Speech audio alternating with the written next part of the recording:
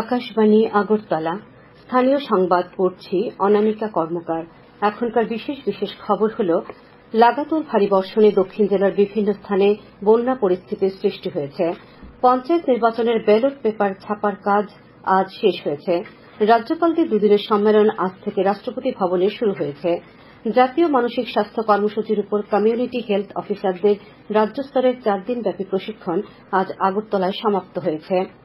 লাগাতার ভারী বর্ষণে দক্ষিণ জেলার বিভিন্ন স্থানে বন্যা পরিস্থিতির সৃষ্টি হয়েছে। বিপদসীমার উপরে বইছে মুহুরী ও লাউগাং নদী।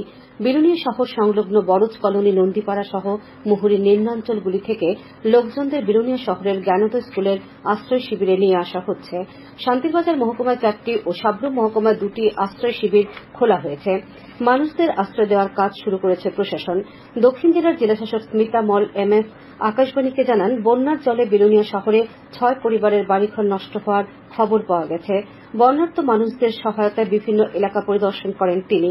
আপদামিত্র সিভিল ডিফেন্স স্বেচ্ছাসেবক টিএসআর সহ গোটা প্রশাসন বন্যা পরিস্থিতি মোকাবেলায় প্রস্তুত রয়েছে। বিলোনিয়ার মহকুমা শাসক রিঙ্কু লেথার জানান, বিলোনিয়া শহরে কিছু এলাকায় বৃষ্টির জল জমেছে। আজ বিকেল সাড়ে চারটা পর্যন্ত দুশো ছেচল্লিশ মিলিমিটার বৃষ্টি হয়েছে বিলোনিয়ায়। মুহুরীর জল বাড়তে থাকায় নিম্নাঞ্চল থেকে লোকজনদের নিরাপদ আশ্রয়ে নিয়ে আসতে শুরু করেছে প্রশাসন। শান্তিরবাজারের মহকুমা শাসক অভেদানন্দ বৈদ্য জানান, সন্ধ্যা পর্যন্ত মহকুমার শান্তিরবাজার মডেল দ্বাদশ স্কুল, মহামণি অঙ্গনওয়াড়ি কেন্দ্র, পশ্চিম বগাপা দ্বাদশ স্কুল ও বাইখোড়া ইংলিশ মিডিয়াম দ্বাদশ স্কুলে আশ্রয় শিবিরে চল্লিশ পরিবার আশ্রয় নিয়েছেন। লাউগাঁও নদীর জল বাড়িঘরে ঢুকে যাওয়ায় মহামণি ও কাঞ্চননগর এলাকার মানুষ ক্ষতিগ্রস্ত হয়েছে। শান্তিরবাজার মহকুমা শাসকের অফিসের জরুরি হেল্পলাইন নম্বর শূন্য তিন আট দুই তিন দুই নয় এক দুই চার পাঁচ, চব্বিশ ঘণ্টা চালু থাকবে বলেও জানান মহকুমা শাসক। সাবরুমের মহকুমা শাসক শিবজ্যোতি দত্ত জানান, মহকুমার বৈষ্ণবপুর দ্বাদশ স্কুল ও বৈষ্ণবপুর কমিউনিটি হলে দুটি আশ্রয় শিবিরে বারো পরিবারের লোকজনকে আশ্রয় দেওয়া হয়েছে। শান্তিরবাজার শহরের বন্যাপীড়িত মানুষজনদের খোঁজ খবর নেন বিধায়ক প্রমোদ রিয়াং। বেলুনিয়া শহরে বন্যা কবলিত এলাকা পরিদর্শন করেন বিধায়ক দীপঙ্কর সেন। এদিকে আগামী চব্বিশ ঘণ্টায় রাজ্যের ধলাই, দক্ষিণ এবং গোমতী জেলায় অতি ভারী বৃষ্টির সতর্কতা জারি করেছে আবহাওয়া দপ্তর। পশ্চিম জেলার সিপাহীজলা এবং খোয়াই জেলাতেও ভারী বর্ষণের সতর্কতা জারি করা হয়েছে। পশ্চিমবঙ্গে নিম্নচাপ নাগাল্যান্ডের উপর ঘূর্ণাবর্ত এবং দক্ষিণ আসামের উপর মৌসুমী অক্ষরেখার কারণে এই অতি ভারী বৃষ্টির সম্ভাবনা।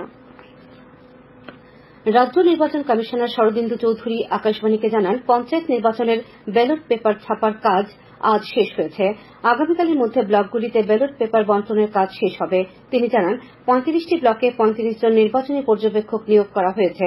তারা ইতিমধ্যে নির্বাচনের কাজকর্ম পর্যবেক্ষণ শুরু করেছেন। ঊনকোটি জেলার জেলা নির্বাচন আধিকারিক তথা জেলাশাসক দিলীপ কুমার চাকমা আজ এক সাক্ষাৎকারে জানিয়েছেন, ত্রিস্তরীয় পঞ্চায়েত নির্বাচনে আগামী চৌঠা আগস্ট ঊনকোটি জেলাতেও ইলেকশন ডিউটি ভোট বা ইডিভি গ্রহণ করা হবে। জেলার কুমারঘাট, গৌরনগর ও চণ্ডীপুর ব্লকে সুবিধাদান কেন্দ্রে এই ভোটদানের জন্য যথাযথ ব্যবস্থা নেওয়া হয়েছে। নির্বাচন কাজের সঙ্গে যুক্ত কর্মী ও নিরাপত্তা বাহিনীর কর্মীরা সুবিধাদান কেন্দ্রে ভোটদান করবেন। তিনি জানান, ঊনকোটি জেলার তিনটি ব্লক মিলিয়ে এক হাজার তিপ্পান্ন জন ইলেকশন ডিউটি ভোট বা ইডিভির জন্য আবেদন করেছেন। আগামী আটই আগস্ট অনুষ্ঠিতব্য ত্রিস্তরীয় পঞ্চায়েত নির্বাচন উপলক্ষে জেলায় অতিরিক্ত তিন কোম্পানি সিআরপিএফ ও দুই কোম্পানি টিএসআর এসেছে। নির্বাচনকে কেন্দ্র করে শান্তি, সুস্থিতি অক্ষুণ্ণ রাখতে আরও নিরাপত্তা বাহিনী আসার কথা রয়েছে বলে তিনি জানান। খোয়াই জেলায় ত্রিস্তর পঞ্চায়েত নির্বাচন অবাধ ও সুষ্ঠুভাবে সম্পন্ন করার জন্য আজ খোয়াই জেলাশাসকের কার্যালয়ের বৈঠক অনুষ্ঠিত হয়।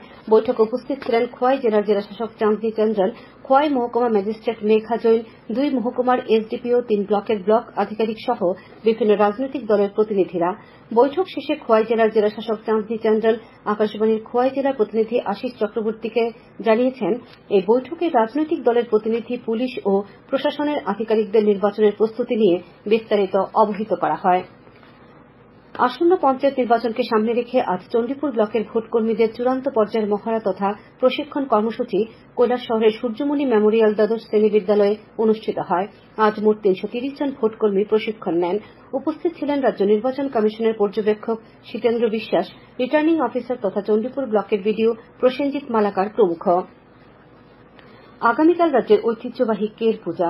আজ রাত দশটায় কের পূজা শুরু হয়ে আগামী রবিবার ভোর পাঁচটায় শেষ হবে পূজা। আগরতলার পুরান হাভেলি অর্থাৎ চতুর্দশ দেবতা বাড়ি প্রাঙ্গণ ও নতুন হাভেলি অর্থাৎ উজ্জয়ন্ত প্রাসাদ প্রাঙ্গণে চিরাচরিত বিধি অনুযায়ী এই পূজা হয়। এই পূজা সর্বসাধারণের দর্শনের বাইরে রাখা হয়। কের পুজো উপলক্ষে আগামীকাল রাজ্যে সরকারি ছুটি। নিট ইউজি মামলায় সুপ্রিম কোর্টের রায়কে স্বাগত জানালেন কেন্দ্রীয় শিক্ষামন্ত্রী ধর্মেন্দ্র প্রধান। সুপ্রিম কোর্টের রায়কে স্বাগত জানিয়ে ধর্মেন্দ্র প্রধান নিজের এক স্যান্ডেলে জানিয়েছেন, স্বচ্ছ ও ত্রুটিমুক্ত পরীক্ষা পদ্ধতিতে প্রতিশ্রুতিবদ্ধ কেন্দ্রীয় সরকার।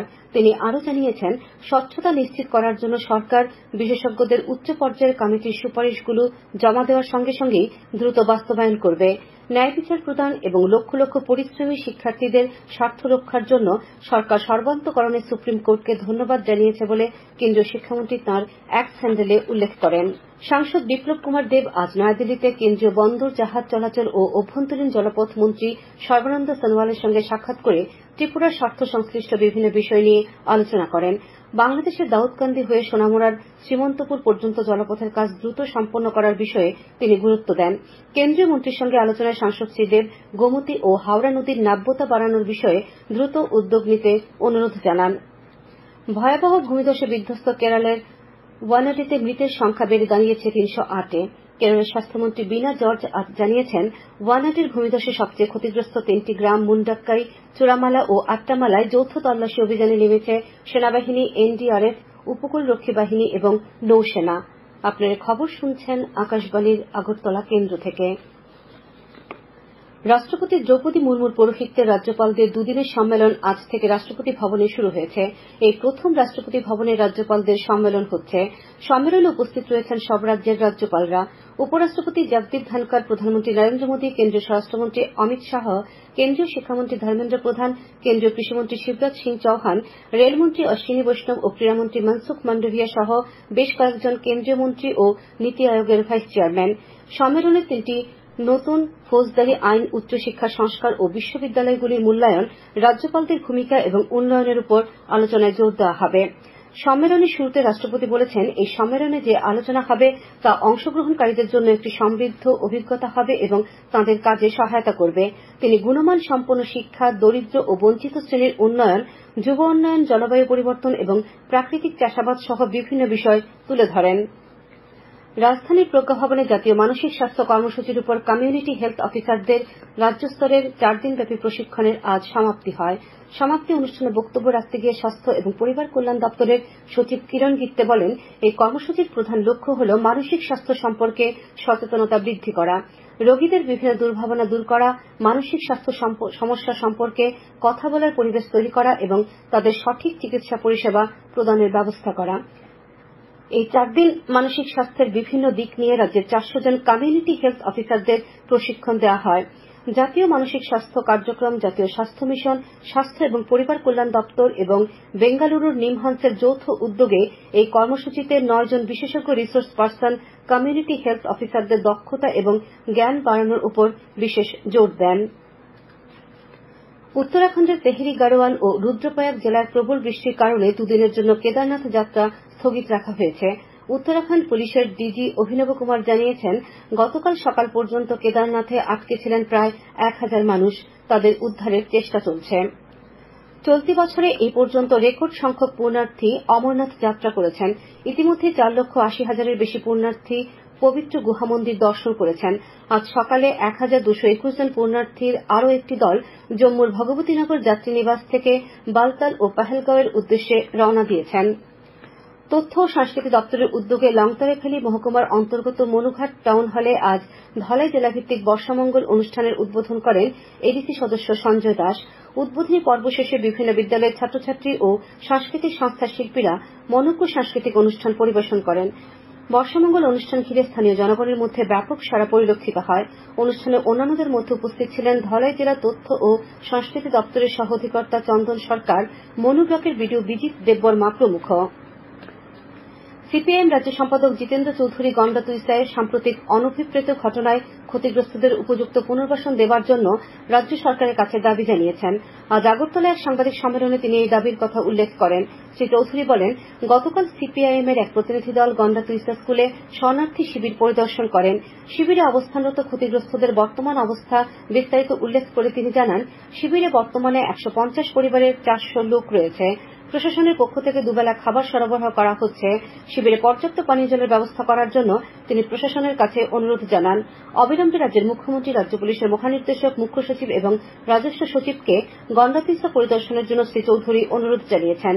গন্ডা তিস্তার অনভিপ্রেত ঘটনার নিরপেক্ষ তদন্তেরও দাবি জানান তিনি। ত্রিপুরা রাজ্য গণমুক্তি পরিষদের পক্ষ থেকে লোকসভার চলতি অধিবেশনে একশো পঁচিশতম সংবিধান সংশোধনী বিলটি পাশ করার দাবি জানানো হয়েছে। আজ আগরতলায় এক সাংবাদিক সম্মেলনে গণমুক্তি পরিষদের সম্পাদক রাধাচরণ দেববর্মা এই দাবির কথা উল্লেখ করেন। তিনি বলেন, এডিসির হাতে অধিক ক্ষমতা প্রদানের লক্ষ্যে দু হাজার আঠারো সালে সংসদে বিলটি আনা হয়েছিল, কিন্তু আজ পর্যন্ত বিলটি সংসদে পাশ করা হয়নি। তিনি বলেন, সম্প্রতি অনুষ্ঠিত গণমুক্তি পরিষদের কেন্দ্রীয় কমিটির বৈঠকে সিদ্ধান্ত নেওয়া হয়েছে, আগামী নয়ই আগস্ট আন্তর্জাতিক আদিবাসী দিবসে সংগঠনের পক্ষ থেকে বেশ কিছু কর্মসূচি পালন করা হবে।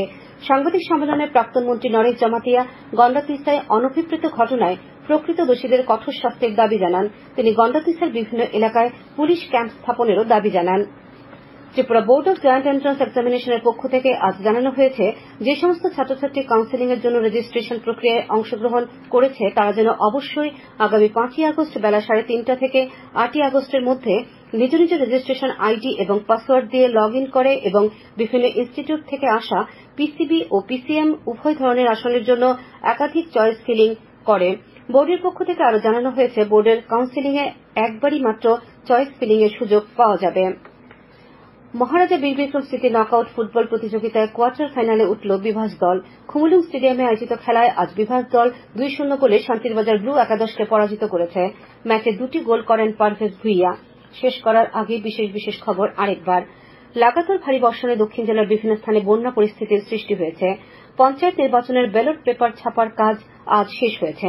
রাজ্যপালদের দুদিনের সম্মেলন আজ থেকে রাষ্ট্রপতি ভবনে শুরু হয়েছে। জাতীয় মানসিক স্বাস্থ্য কর্মসূচির উপর কমিউনিটি হেলথ অফিসারদের রাজ্যস্তরের চার চারদিনব্যাপী প্রশিক্ষণ আজ আগরতলায় সমাপ্তি হয়েছে। স্থানীয় সংবাদ আজকের মতো এখানে শেষ হলো।